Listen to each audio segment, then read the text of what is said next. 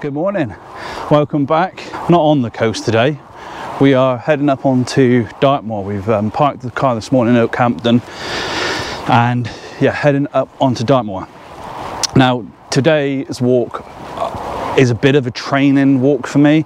Um, I need to do some long distance walks this year in preparation for um, a challenge I've signed myself up to in September. I will be doing the Macmillan Jurassic Coast Mighty Hike. So I've got to do 26 miles. That will be the longest distance I would have ever walked in a day. So yeah, this year I need to up my distances um, so, so I can complete that in September. To help me along with my training this year, what I'm gonna do is I've got this book, it's called Dartmoor 365. The principle of it is they've, Dartmoor was, when the book was written, 365 square miles. It's, it's, not anymore, they've extended the boundary of the national park. It's now 368 square miles. But when the book was written, yeah, 365. So they've split the moor into these 365 uh, square miles, overlaid that over the uh, national park map, and then within each of the squares there's a point of interest.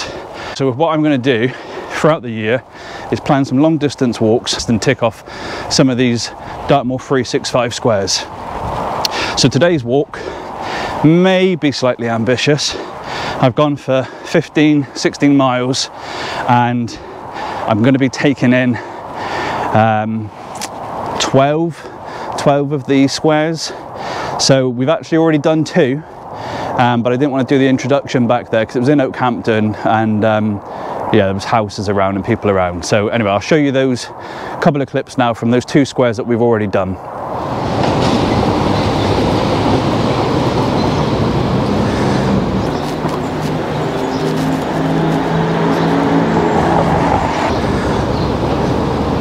Okay, so this is A8, the Museum of Dartmoor Life is actually closed at the moment, which I knew it would be, but um, I thought it was worth coming to have a look at this one anyway as I was in the area. Um, so up there you've got in the courtyard, you've got a tea room and the entrance to the museum. First of the squares completed.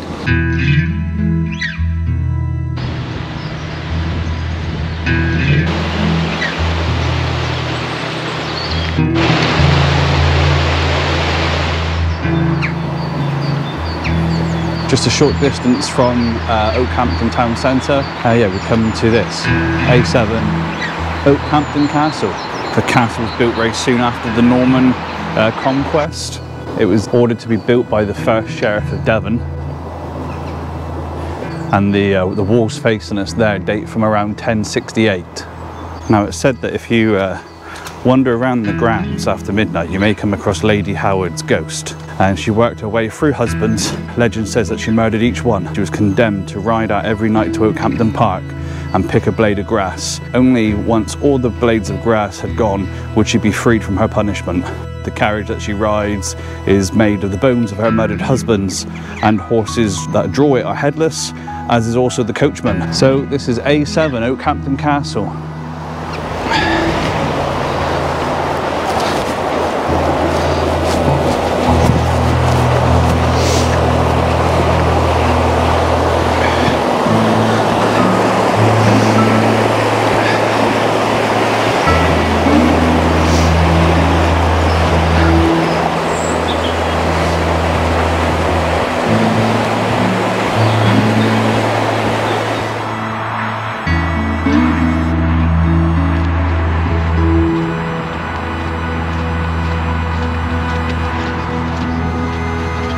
Anyway, right, that's the uh, two we've already done. I'll, I'll, make sure I bring you with me now to do the uh, other 10, if we make it.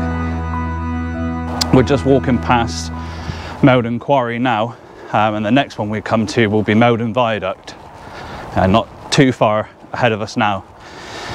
It has been terrible weather the last few weeks, really wet, so I'm expecting when we get up onto the open moorland for it to be pretty wet underfoot. So you know, I'm adaptable, the route can be cut short. We, we don't have to sort of uh, do all 12 today. I'll take you along for the ones that we get to see.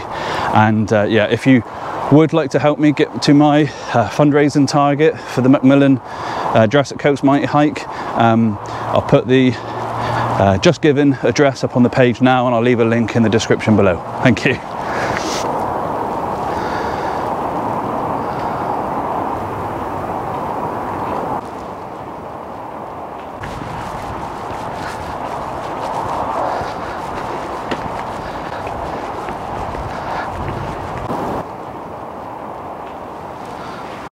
Uh, this is Meldon Viaduct. It was built in the 1870s to carry uh, the railway from Okehampton to Tavistock. That's where we're heading next, over towards Meldon Reservoir. And we're dropping down underneath Meldon Viaduct. And then we're going to follow the stream below it, which is the West Okement. Uh, we're then going to follow that up towards Meldon Reservoir.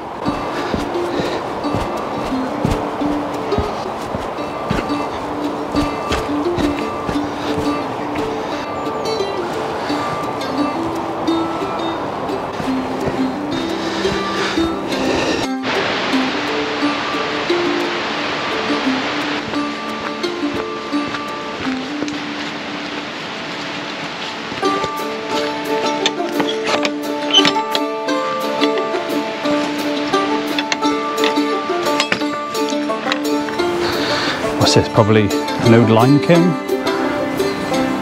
I guess.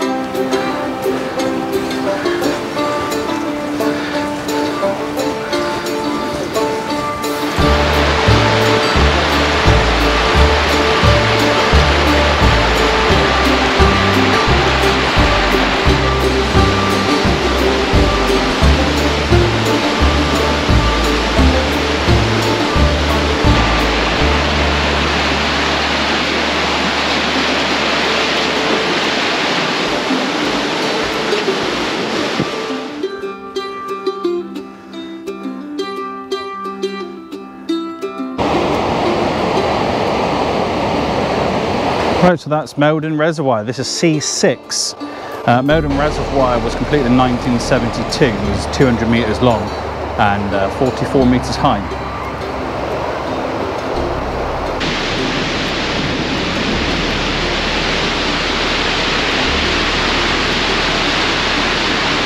So that's looking back towards Meldon Viaduct that we were across earlier. And then we've walked along the valley and then across the top of the dam here.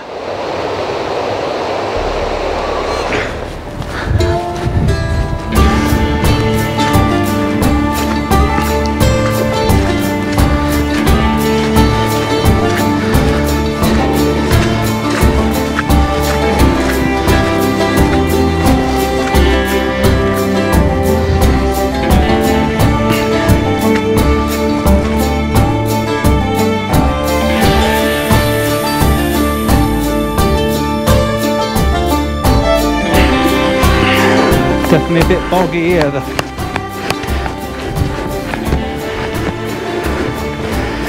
So I'm just running parallel now to Red-a-ven Brook. It's down in the valley here. Um, and then if we keep walking this way, uh, we hopefully will find the next point of interest, which is Red-a-ven Dip. It's absolutely beautiful up here. You know, a lot of people say Dartmoor is barren and featureless and miserable, and it is, but it's also beautiful and rugged and unspoilt. Obviously, it's not the landscape that it once was. You know, humans have impacted heavily on it. It all was once a forest, but it is still beautiful. And it's local to where I am. Yeah, I can come here and feel like I'm miles away from anywhere. And it's even brightening up a bit. Now, for any of you that don't know me or haven't seen any of my videos before, my name's Paul. I got a channel called Pilgrim Paul. Predominantly, I've been walking the Southwest Coast Path over the last eight months. Um, so far, I've gone from Minehead to Newquay. I'll be picking up again once we've got longer days and nicer weather. Um, but yeah, I also do come out on Dartmoor, do some camping, do some walking, come out with my dog Monty. If you're new, then hi, welcome. Hope you enjoy the videos. Um, if you want to have a look at my coast path walks, I'll put a link up on the screen now. So this is Red-a-ven Brook, and I need to go just up here onto this sort of hill there where the falls are coming down and there should be Red-a-ven Dip. So uh, I'm not sure the best route, might go up, up the hill there and cut across. So try and find a way across this. Let's try it here.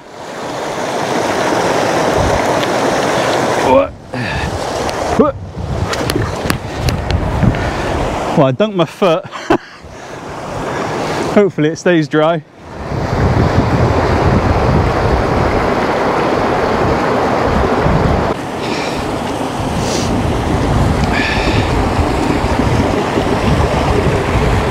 Oi.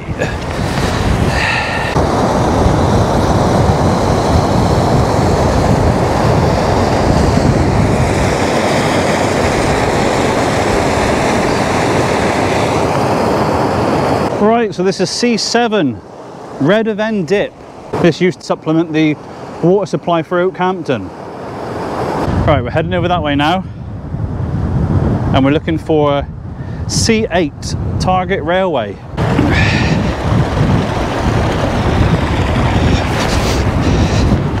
Well, I said earlier that we go into the military firing ranges and some evidence here of it. Leave that alone, don't want to lose a finger. This ridge here straight ahead of us now, that is a dismantled military railway. Runs about, well the book is about a thousand yards down to where we were just a moment ago.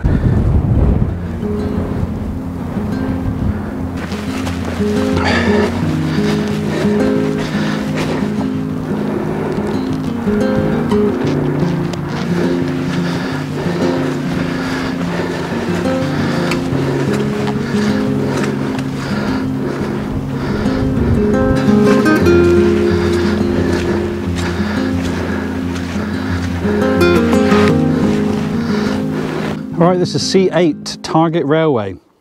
It's about 200 yards long and it was once used to pull military targets. Uh, there are two locomotives still in the engine shed, but they are no longer in working condition.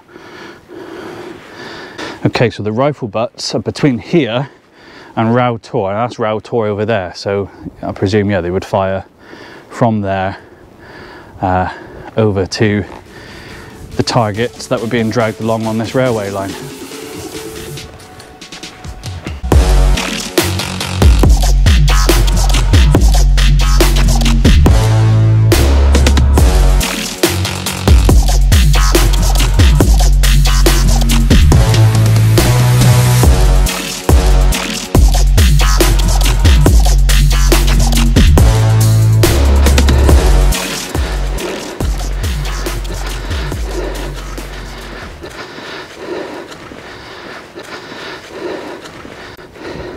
This is where they have some of the targets hanging. Uh, you see all the different bullet holes here in this piece of metal.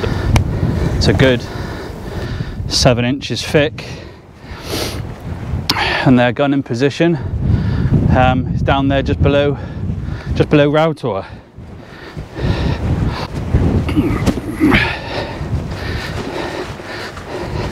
Wow, that was really interesting. Never been I've not been to any of this part of the moor. This is North Dartmoor.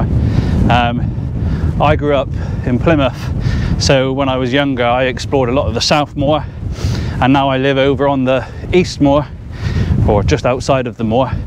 Um, yeah, so there's North Moor, not, not really been up to any of this part. But that was, yeah, really interesting. And if you're into your railways, uh, yeah, it's a good place to come and visit. Right, we got a start heading back down off some of this high ground now and uh, on to the next next point of interest don't know how far we've got now. I don't know how many we've done. What have we done? We've done the Dartmoor Museum, Meldon Quarry, the viaduct, the reservoir, Red-a-ven Dip, and the railway. So what's that, six possibly? I'm sticking to my plan. I've still got six to go. What is it? Five to two now. Realistically, unlikely to get another six in. Um, I started too late today. It was about 10 o'clock when I set off on the walk. And uh, obviously doing the filming as well slows me down. So that's fine. Not in any rush to tick these off. It's nice to enjoy them and appreciate them while I'm here, especially because I've never, never been to this part of the moor, like I said. Um, so yeah, we'll just carry on, see how many we get, and uh, we'll amend the route if needs be. I've actually done seven, not six, because I forgot Okehampton Castle. Right, I've had to change the route slightly. Um, we should have carried on going this way, down towards Okehampton camp. What I've decided to do is come along the moor here and we're going to miss Fitz's and Cross for the moment. Um, it was quite a long way and then to come back to the next uh, point of interest. So i am skipping that bit, going across the moor and we're going to head straight to Cullever Steps.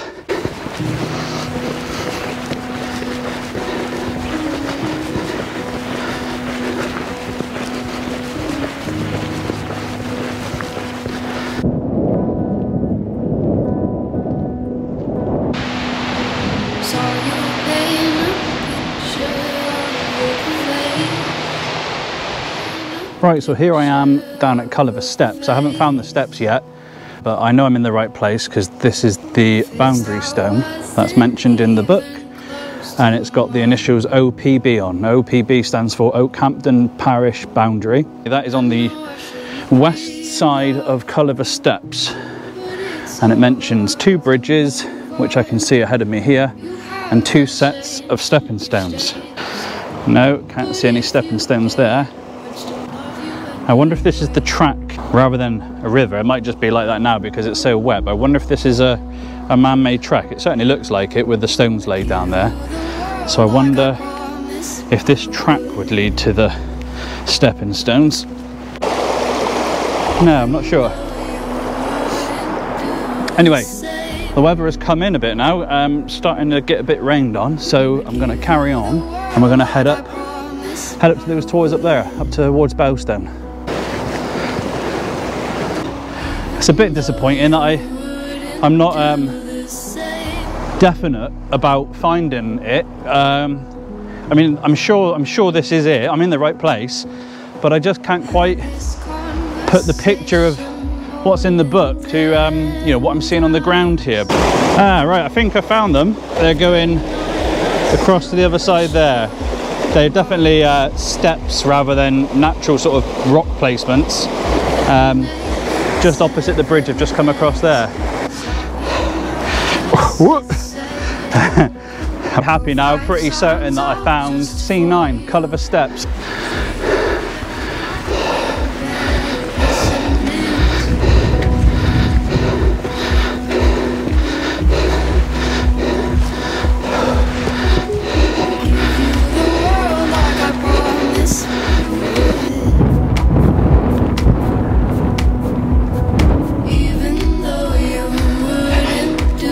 This is C10, Irishman's Wall. The story is that in the year 1800 there was two men that wanted to section off a large part of the moor for their own financial benefit and they hired a gang of Irish workers to, uh, to build the wall. And the local people uh, weren't too happy about this because it would really impact on their rights to graze or their ability to graze the moorland. So one night they uh, sabotaged the wall, rendering enough of it uh, useless. It was then abandoned and yeah, the Irishman's Wall is still here today. Weather's come in now, it's, the skies are quite dark. The odd bit of rain, wind's picked up, but it's still nice. Still beautiful views. All of this is unexplored for me. But uh, yeah, that's the great thing about the Dartmoor 365 book is uh, using that is going to sort of give me something to aim for, a reason to come out here and explore this. Right, we've just come down off the top of Belstone and then we've come down here and this is the Nine Maidens, uh, also known as 17 Brothers. All that remains of a uh, Bronze Age burial site.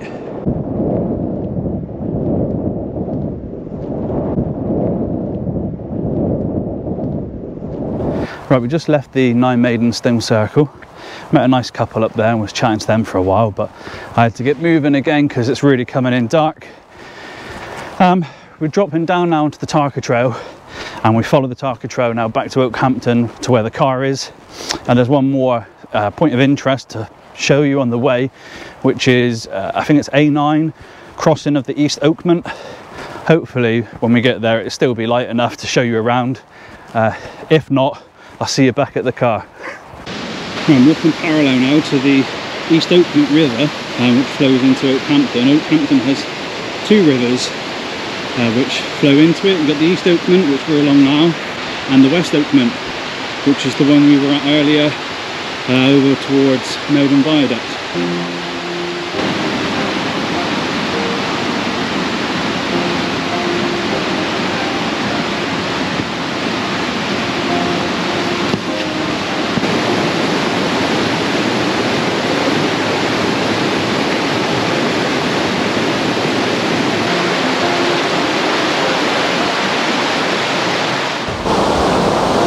Right, here we go, A9.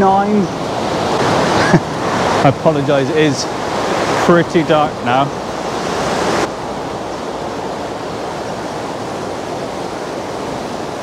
A30, the footbridge, the railway viaduct, not the one we were on earlier, this is a different one. And then there is a Ford just the other side of the uh, viaduct there and there are some stepping stones somewhere but I can't see them at the minute. And it's too dark to stay here to look for them. But anyway A9 that is our final final square ticked off for today. How many did I get done? I think I was aiming for 12 but I got 11 done. I missed out. Fitz as well and cross but I'll come back and uh, get that another day.